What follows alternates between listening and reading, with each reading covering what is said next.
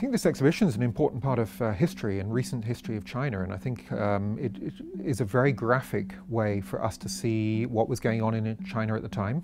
Uh, politically, what was happening, economically, what was happening, uh, nationalistically, what was happening, how China, um, as the government and the authorities, wanted to convey messages to the people. The uh, two uh, genre of early posters are firstly what we would call general propaganda. Propaganda to encourage people to um, look after their bodies, visit the doctor, uh, look after the tools in the factory, repair things that are broken, use resources well. Uh, we also have one very early poster from 1951, uh, which is at the time that China was supporting the uh, North Koreans in the Korean War. And it actually depicts uh, Chinese soldiers arriving at the Korean border and being welcomed as heroes to come and support the Korean War effort.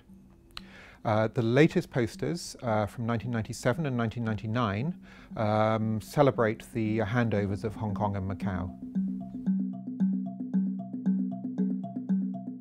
We have one uh, fascinating poster dating to 1967. Uh, as everybody knows, that was the time that there were riots in Hong Kong against the, uh, the British colonial government. And this poster would have been produced in China, um, probably smuggled down to Hong Kong or intended to be smuggled into Hong Kong to support the, um, the street uh, revolutionaries um, as propaganda that would have been pinned up in Hong Kong.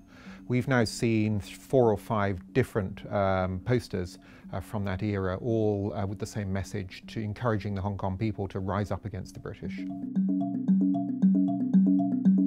I have a small collection of books at home in my own personal collection um, about the, the riots and some of those books have photographs taken in the streets around the same time.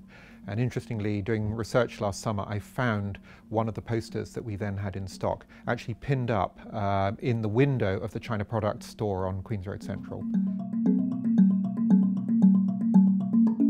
Propaganda um, posters are used broadly throughout the world and have been for at least 100 years for propaganda purposes of all sorts, whether it's the government encouraging people not to smoke or to study harder, um, or as well as having overt political messages. So propaganda posters are, are a very broad um, area.